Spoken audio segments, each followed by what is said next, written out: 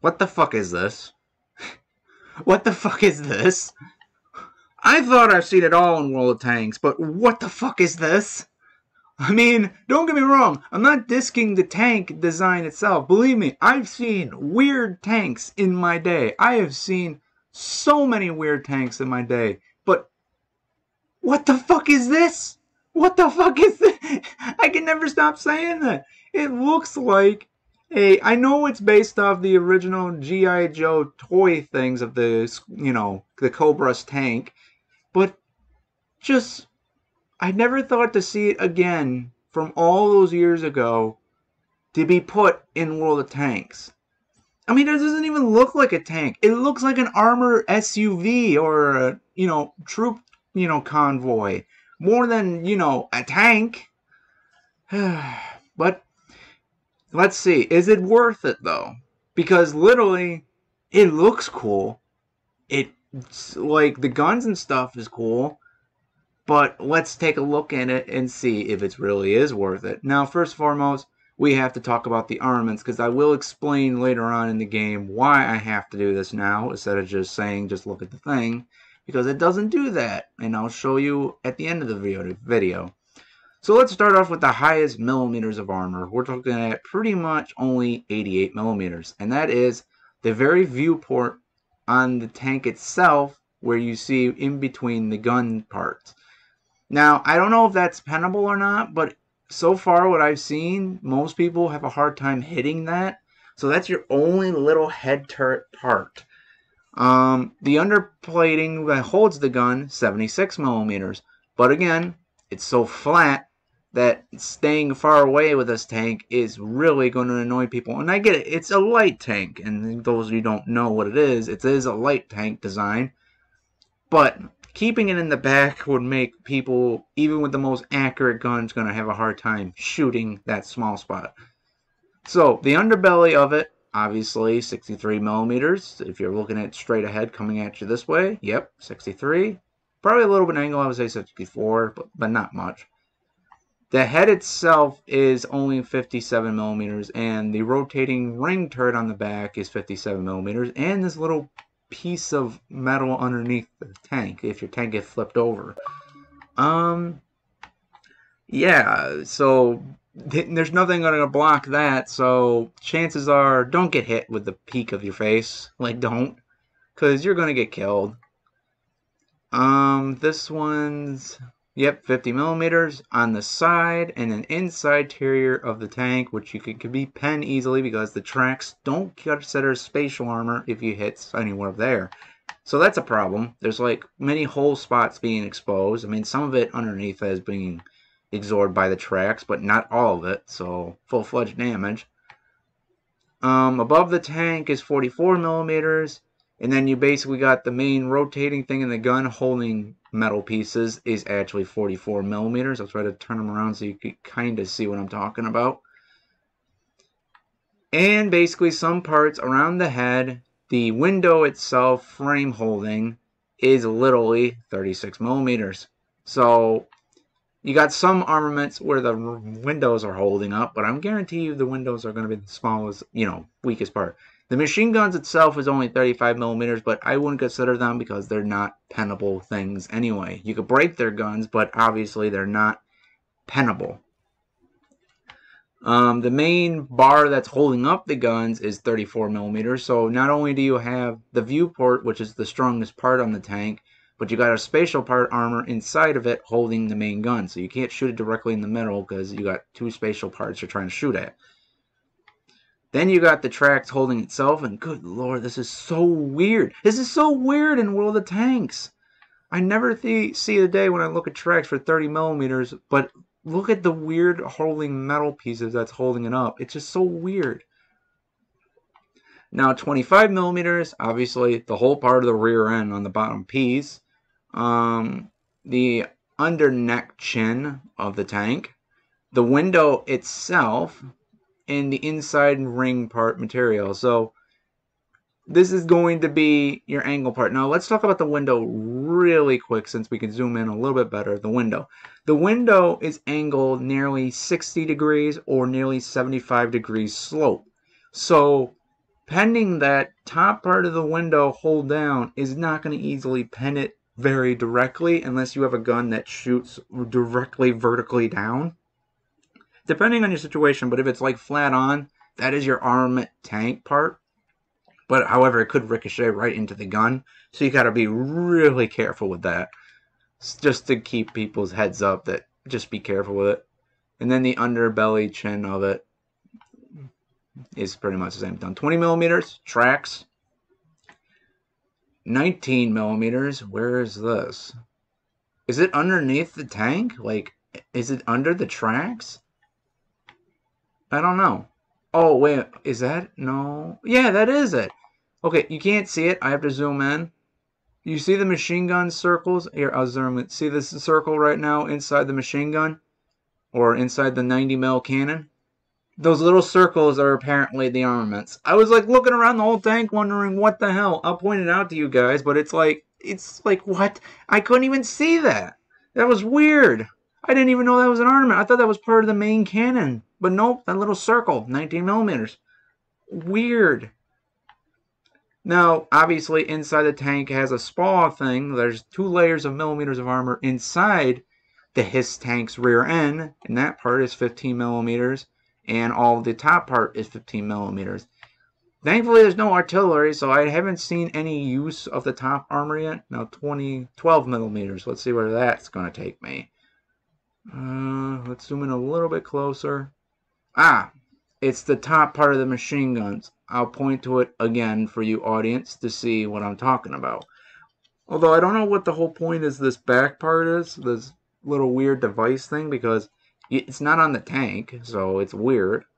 But the machine gun top part is only 12 millimeters. That is, why would they bother? It's literally whatever. Now what's the 10 millimeters? Uh, here we go again. Let's see which one's 10s. Which one's 10s? Oh, you gotta be kidding me. Okay, you can't see it, but I'll freeze frame it right there and point to it. There's a little line right underneath the gun. This is going to be a lot of editing for me.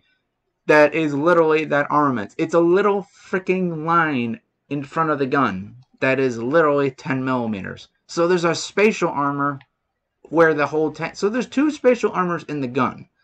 But I don't say it's a lot, but it's enough.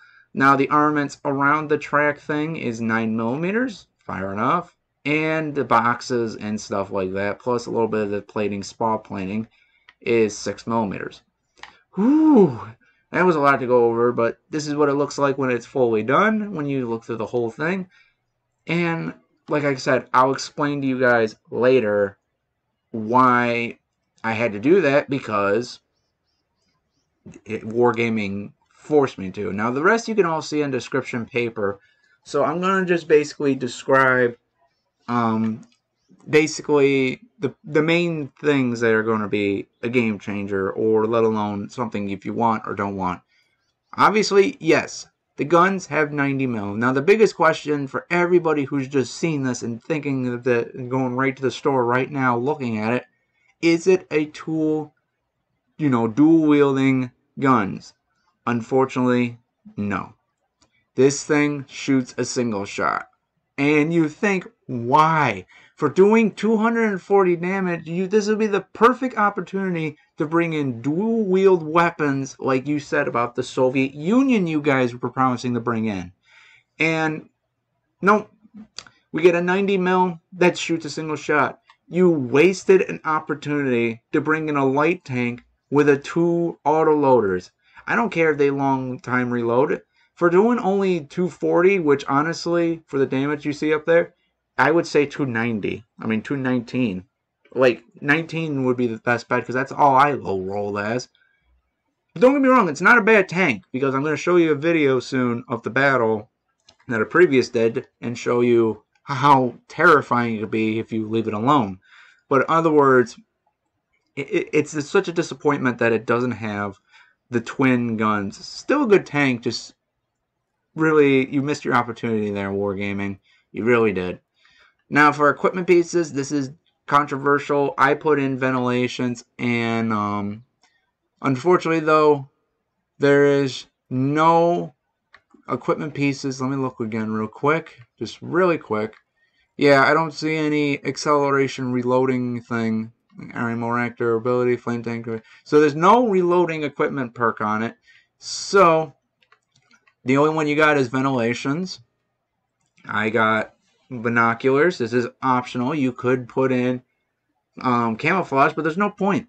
There's no point in that because you're in Cold War. In Cold War, you, know, true vision still exists. So even if you're hiding in the shadows, it ain't gonna work. It ain't gonna work one bit. So I trade that out with gun stabilizers for shell accuracy. Um, you could put in aiming speed for sniping annoyance. You can have probably three time advanced zooming. It would work because this is the type of tank you need to keep far away from the battlefield. Yes, I know, it's fast because if you look at its speed, it goes up to 75. I almost got it up to 80 for God's sakes. Um, but the problem is, you're dealing with a 90 mil gun. And a 90 mil gun ain't gonna kill one tier rank 2. Sorry, I'm used to World War II kind of tier matchmaking. This is Cold War. Like, this is a rank 2 premium. So, you're going to be seeing, like, a lot of powerful tanks that can harm you. So, it's best to just shoot them at range. As much as I hate to say it, shoot them in range, get as much cover as possible, and hold down. And you will see why, because when I did a hold down, when the video you're going to see, it's really excellent to do that because of how small those guns are on top of your head makes it really hard for people to shoot them. So it's a, literally a hold down scout tank. It, that's how I describe it. I mean, yes, you can go aggressive. You can do all this. I know all you people are typing down in the comments say who has it, saying like you can do this. You can. However, it's just more balance to snipe and make it hard for the enemy to hit you because you're an annoyance tank, not a killer, an annoyance. Like kind of like the Panzer IC, only if you shoot someone with more health than you and armor that you can't pen half the time. That's literally that's the best way I could describe it. It's like the Panzer IC with a single shot going up against, you know, Panzer IC is a tier 3, I would say going up against fives.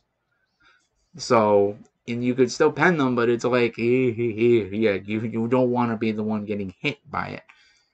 So, Consumables, I use the traditional fire extinguisher, you know, first aid and, you know, repair kit because it is a light tank.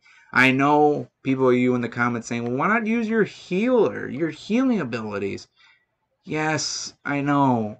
But again, this is a light tank. I'll do that with a heavy tank, knowing that I can take more abuse. But for right now, a light tank could easily get set on fire. A light tank can definitely get tracked and I could get killed and a light tank, it definitely lose crew. So I'm still used to doing the three basic old style versions, not the smoke screen or the freaking, um, you know, flame torch. So sorry, I'm just using old classic. So let's go to ammunition cost since you see everything else on paper when you go into the game store and stuff. It's got some good detection range and stuff like that. Okay, because there's a lot more we have to still talk about this.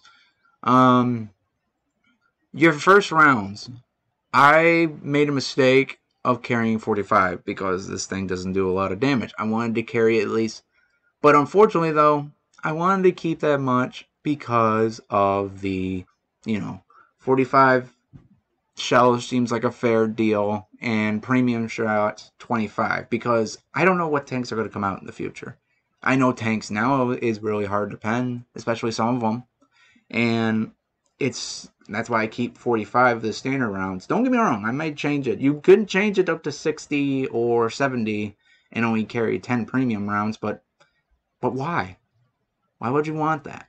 Because if you face up a tank that you can't pen, how are you going to kill it? There's not enough ammo and enough damage to consider this, so I try to keep it evenly as possible. So first round costs 410, I carry like 45 because my premium rounds that is heat even though i i know a lot of you are saying why carry that many rounds when it costs 5200 a shell? I carry 25 The problem is there is one couple of tanks that you can't pen, like some Soviets and stuff, that you need to have that rounds if they're holding down. Well, then again, if they're holding down, you just get the frick out of there. You have the speed to get out of there. But there's some tanks in the future that I know they're going to bring out that's going to be extremely hard to pen. So hmm. I have to look forward to that in the future. And and right now, I'm only carrying 10 rounds of these. And you're probably wondering, why, Fury? There is no tank. At that point, if you can't pen it and you literally have to annoy the shit out of it, why you waste capacity of 10? This is for the other Hess tanks.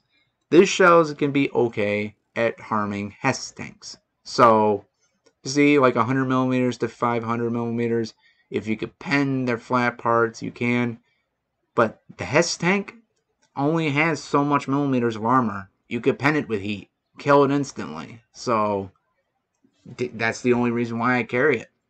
It's for meant for Hess control pests kind of thing. Hess control pests. Sounds like a really awesome spray can. And there you have it. Um, what else is there to talk about? I mean, everything else you can see on paper. Let's talk about for you those that I know all of you did get is the season pass ultimate and our beloved and also hated character of the G.I. Joe franchise, Cobra. Now, if you get the season pass like I did, you'll get two commanders of the Cobra. You get, oop, if I didn't accidentally press B twice, you get his three stars, and I'm guessing they're going by stars now, and that's going to make me upset because this is really dumb of doing that.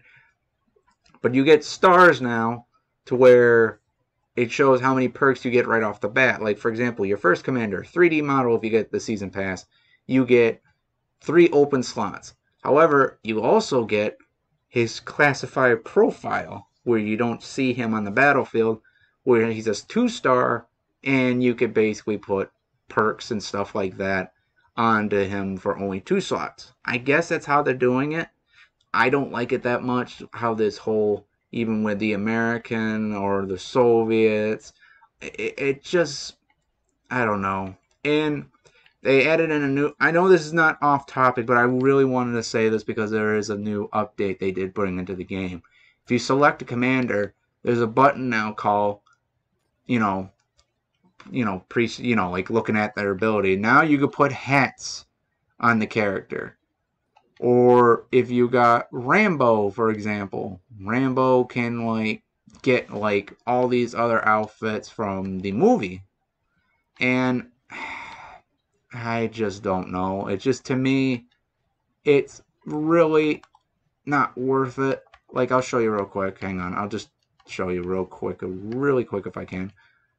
Like, can I see the commander detail? Yep.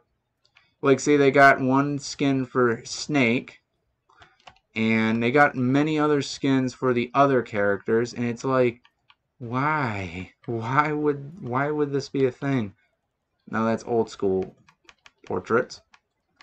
And let's look at Rambo real quick. Rambo is like the worst one of them all because there's one two three four skins for him that you have to pay a thousand gold each downright F fail. Like if I had to rate that, it would be literally a 2 out of 10. We should not be paying a thousand gold for these skins or different customizations. We should automatically have them. anyway, off track. Sorry about that. So now he's standing outside the tank, and now every victory screen or anything like that, you can now see him on, you know, if you're the top three, pretty much players. So, let's get into the game. Alright guys, here we are. I'm in a replay battle of my first game into it, and pretty much it sums up what you're supposed to do with the Hiss tank. But when we get to the battlefield, this thing is really fast, like I said, almost going like 80 almost. Really not bad, although doesn't really turn out a dime in my opinion. Um, so my personal opinion with this whole G.I. Joe and the Cobra tank, it feels so weird that this is a tank. I mean, look at it. It looks like something you would buy in the 1960s toys. It just looks like it belongs on that shelf of old nostalgic toy collections. I mean, I mean, don't get me wrong, I love this little annoyance, And that's all it is, is a little annoyance. Because literally doing only a little damage it does for shooting doesn't really kill anything easily unless it's not spotted. So I'm trying to play it smart. I'm staying ahead of the team, but not like, you know, going out there going to kill willy-nilly. So here I am, shooting at the enemy far away, only showing my gun and a little bit of my turret armor. Making it really hard for them to pen because, obviously, the glass window's angled, so it's even more of a chance that they can't pen me. So I try moving up now since now there's people out there trying to shoot. I don't know what the enemy team's doing. They, now they're shooting at him, trying to give him cover. But um, while I'm shooting away, let's keep talking about this. Honestly, I'm surprised this is not a twin barrel shooter. Like shoot like, you know, 219 one shot and then the other one shoots another shot. Like an auto reloader, you know, like a two clip thing. You know, like the Soviet tanks we were supposed to get. I thought it was going to do that. But nope, it fires a single shell every time, and I hate that.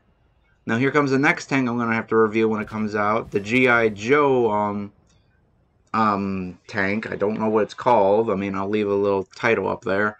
But basically, I'm going to review that. Basically, it's just the Germany's Leopard. Like Leopard with a... It's supposed to have a 152, but it's a 130 instead. The Commander Hatch don't even exist on that.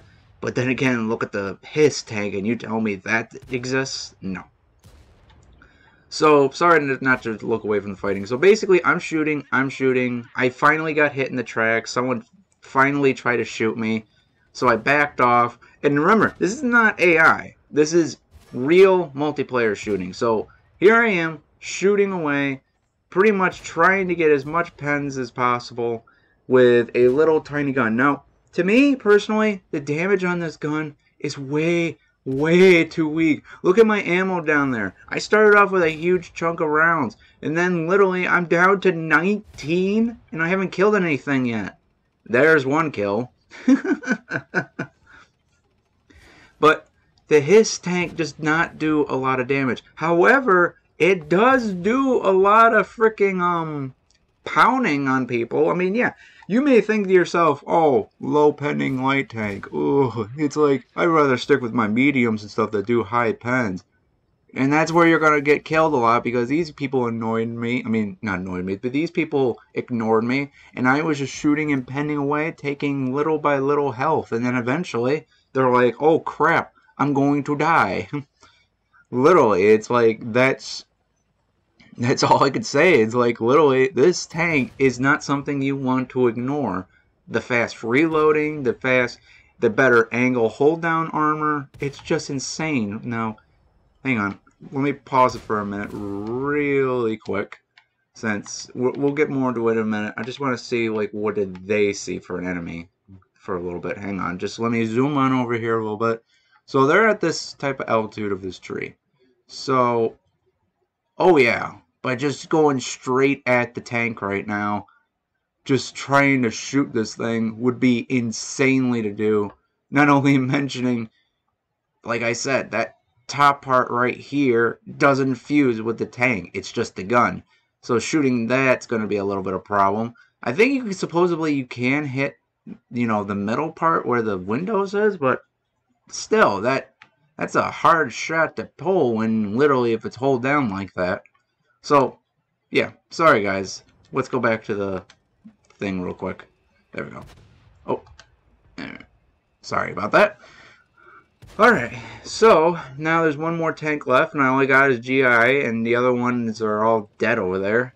And we're the last ones alive, so I said to myself, well, I was about to charge out, then when the cat base started, I'm like, well, maybe I should turn back and um, try to defend the base, since I have the most speed out of G.I. Joe here. Until I realize that there's way too many people over there, even me trying to snipe over there, because again, they have a lot of hit points. I didn't want to charge in there and get myself killed. It, was it was going to be insane. And then when I saw in the right left corner, literally I'm seeing more tanks going in. Another HISS tank, another T-62, another um M60, I'm like, uh, ha, ha, ha. I'm, I'm just going to go try to cap their base. I'm only down to four rounds of my normal rounds before I have to fire premium. So I said to myself, well, fine. I, this is a lost cause anyway. I'm going this way. So I'm going this way. Just going to dodge all this. And then I see another HISS tank. I accidentally rammed into it. And I'm like, ow, that hurt. But I killed it. And then I see another tank over here. And I'm trying to shoot him. But I didn't see the M60 though. Surprisingly, I didn't. So when I'm driving up here, I'm like, oh, only one tank here. And then I'm going to try to kill it. And then I got too cocky and boom, dead. and that's that, that's all there is to it. I mean, you're probably thinking yourself, here, you didn't show a good game. I'm only seeing a couple of pens, how they couldn't hit you, and you only killed like one guy. It's like, how is this like any better? Well, let me show you the logs real quick when we get back, and I'll show you what I mean. So basically, yeah, it was a defeat. And somebody bought Rambo 3D. Poor guy, he spent like nearly 4,000 gold that you could have used on something else and you bought Rambo. I mean, good for you if you saved it, but at the same time, no. Well, somebody's got a mark on that. And then you got Cobra over there doing least amount of damage that I did. That guy did 7,000 something. That's a lot of damage, but I'll show you mine when we get to the actual log. And there you have it, audience. I did 4,988 damage, 29 direct hits, which means module hits. I killed two. I don't know. Oh, yeah, the ramming of the other one. I just shoot the hell out of the other ones, but just got the other thing. thing. Got assisted of 419, blocked only 390, and detected five enemies and I walked away with 148,000 credits without premium, I would walked 90k. And, and if you want to look at the leaderboard, I did more damage than the entire team. Because of those tanks ignoring me the entire time, I did the most damage on my team. I didn't do in total because I got Rambo over there, I told you, did 7,463. But I did decently okay for this type of thing. And, um, yeah, so let's go back to the garage for the final verdict. So here we are. So, my final verdict for this. Now, Cobra, well, I used to have been a big fan of GI, I mean, G.I. Joe. I loved it when I was, when it first aired. I was probably the last of my generation to see, you know, G.I. Joe before they took it down. But at the same time, though, I mean, bringing back these, I love the nostalgia. And I really love this tank. I really do. I have fun playing with it, even how weird it is. But there is some minor problems we have to talk about. First of all, 90 mil. Way too small. I really wish it had an auto reloader where I fire two shots at once, balancing it out to making like 400 and something easily. That way it would be more deadlier, and then people would not ignore me like they did, because they kind of did because I'm here I am shooting away at these people. They don't even give a damn, and I'm just doing 218 to them every shot instead of doing like, you know, 400 like everybody else is doing. So be mindful, you're not going to do a lot of damage in this tank. However, as you saw in that game, if nobody ignores you, it is an annoyance. It is literally an absolute, utterly an annoyance, especially if you hold down just right where they can't see much you're going to make them like hate themselves, especially how sloped the angle is and where the gun is is a little bit harder to pen because of how tiny it is. Especially if you're doing it from many miles away, it's not going to be easy for people to shoot at. So, and the design of the tank is just, like I said, it's so fucking weird. I mean, I never thought to see a tank that looks like an assault SRV or fucking RV kind of thing, where it's not really a tank, but more like a space tank kind of way. That's basically what it looks like, a space tank. But, all in conclusion, doesn't have much armor. I really don't like the fact, and I just want to say this real quick before we get into the whole detail of it. When I went to the store and looked at this tank, and then basically reviewed its armaments. It doesn't tell you the armaments. It doesn't tell you that no more. Like, for example, I already got that tank. I'm going to look at the one you get in the season pass that you could look if you try to look at it in the store, mind you.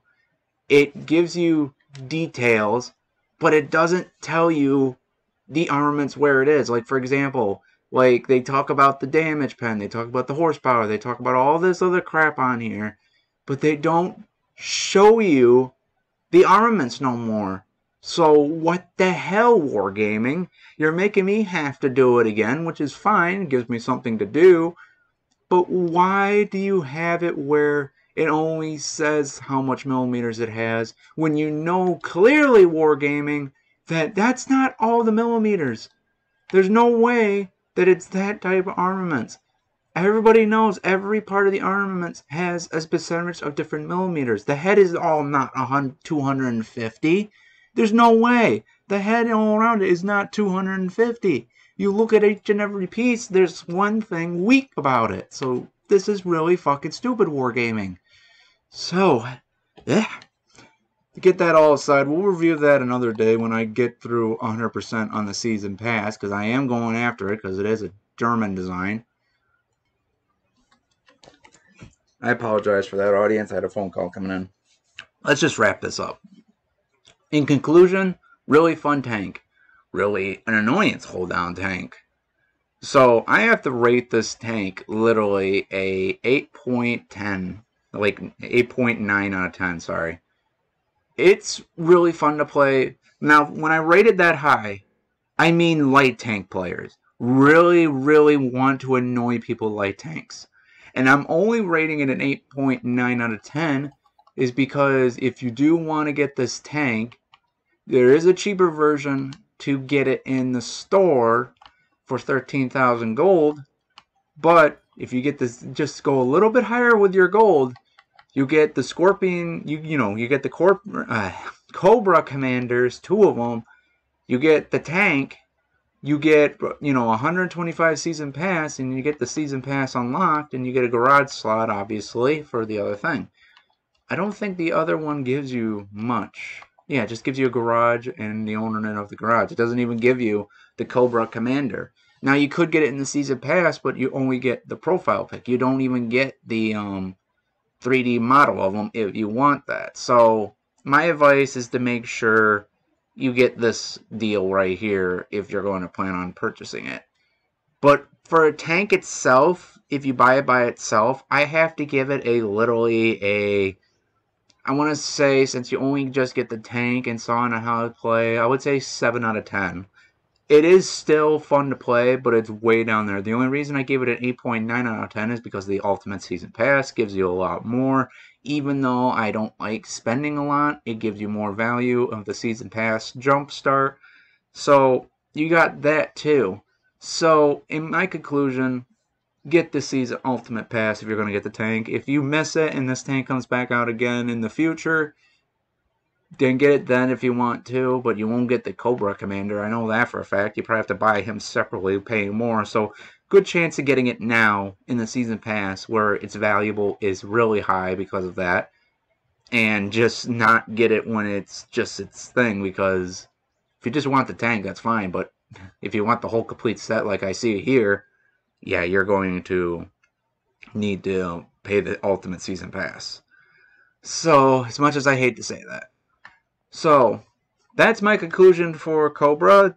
Tune in next time to we look at pretty much G.I. Joe because I am going to look over that tank and we're going to see if G.I. Joe lives up to the height of the high expectation as this tank here when I hide it rating for what it is for 7.10 for itself. Let's hope that one does good too.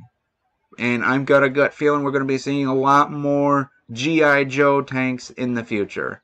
So stay tuned with us and we'll take a look at it. Even if I get them or not, we'll take a look and see what they do.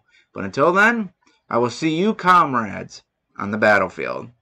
Bye, guys.